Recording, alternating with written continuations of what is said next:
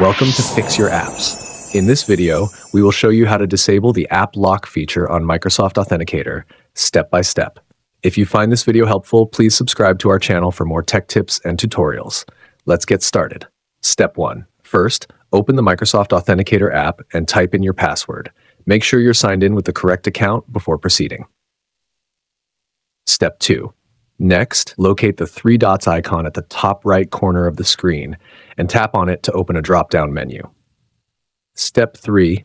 From this menu, scroll through the options until you find Settings, then click on it to enter the app settings.